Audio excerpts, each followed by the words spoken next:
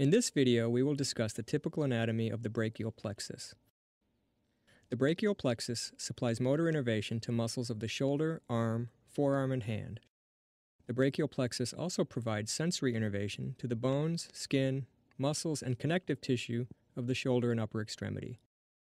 Let's begin by defining what a nerve plexus is. A nerve plexus is formed when nerve fibers from two or more spinal segments intermingle and then segregate in order to travel together to a common anatomical region. For example, fibers from two or three spinal segments that are all going to the biceps brachii muscle may join together to form a single nerve bundle that travels to the biceps. Other fibers from these same spinal segments may be destined for the triceps brachii muscle, and they will join together to form a separate nerve bundle that travels to the triceps. Specifically, the brachial plexus contains motor and sensory fibers from spinal segment C5 to T1. Fibers from these spinal segments mix together and then segregate as they form first roots, then trunks, then divisions, then cords, and finally terminal branches. Let's look at how these different parts of the brachial plexus are formed. Ventral rami from C5 to T1 form the roots. There is one root from each spinal segment, and they are named according to the spinal segment they represent. For example, the C5 root.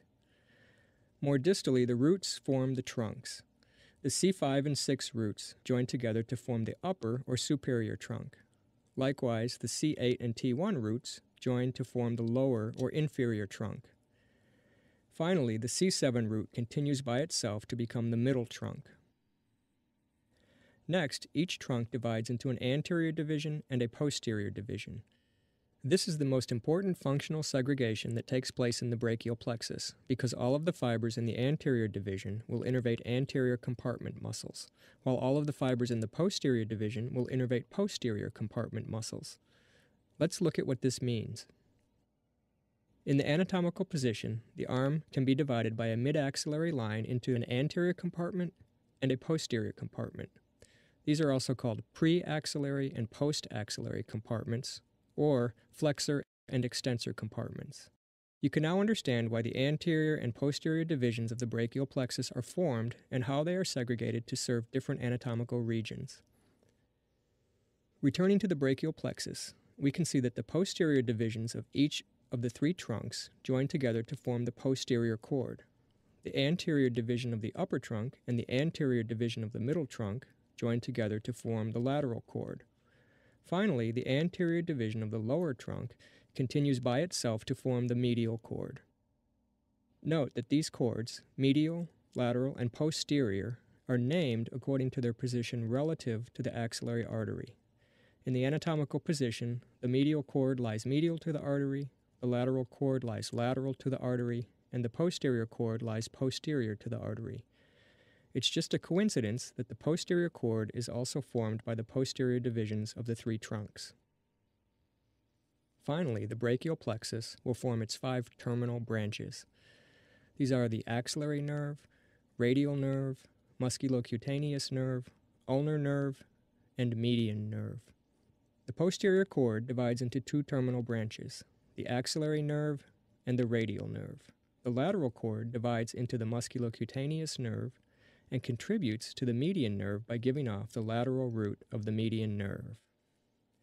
The medial cord divides into the ulnar nerve and also contributes to the median nerve by giving the medial root of the median nerve, which joins with the lateral root of the median nerve to form the median nerve proper. The terminal branches of the lateral and medial cords form the characteristic M shape anterior to the axillary artery, which is usually the most distinctive feature of the brachial plexus and serves as a reference point for locating and identifying the other components of the plexus. Now that we understand the major structural features of the brachial plexus, it's time to add in important smaller nerves that arise from the roots, trunks, and cords. Note that no nerves arise directly from the divisions. Two nerves arise from the roots the dorsal scapular nerve, which is a branch of the C5 root, and the long thoracic nerve, which is formed by branches from C5, C6, and C7 roots. Two nerves also arise from the trunks. Both the suprascapular nerve and the nerve to subclavius are branches from the upper trunk. Remember, the divisions do not give rise to any nerves. Finally, the cords give rise to seven nerves in addition to their terminal branches. The lateral cord gives off the lateral pectoral nerve. The posterior cord gives off the upper, middle, and lower subscapular nerves. Note that the middle subscapular nerve is often called the thoracodorsal nerve. The medial cord gives off the medial pectoral nerve, the medial brachial cutaneous nerve, and the medial antibrachial cutaneous nerve. Let's conclude by briefly discussing some clinical aspects of the brachial plexus. Because the brachial plexus innervates all of the muscles of the upper extremity, injuries to it can have devastating effects on arm and hand function that are critical for activities of daily living.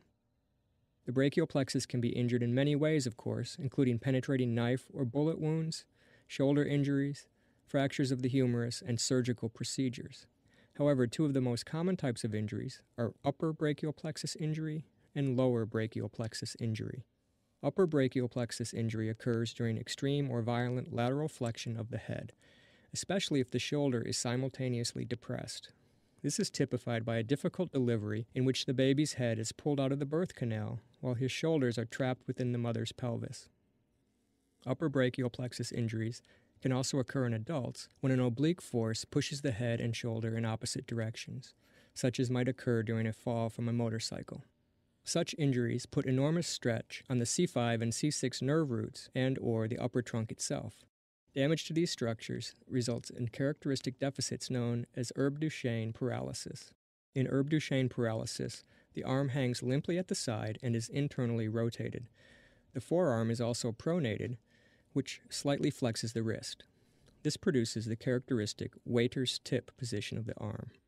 Lower brachial plexus injury occurs during extreme or violent abduction of the arm, such as occurs when a person falling from a ladder or tree attempts to stop himself by reaching overhead for something to hang on to.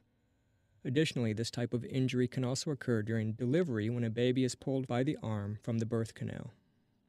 Lower brachial plexus injury occurs from extreme stretch placed upon the C8 root, the T1 root, the lower trunk, or a combination of these. Damage to these structures compromises muscles in the forearm and hand, resulting in Klumpke's paralysis. Klumpke's paralysis is typified by claw hand, in which the fingers are flexed.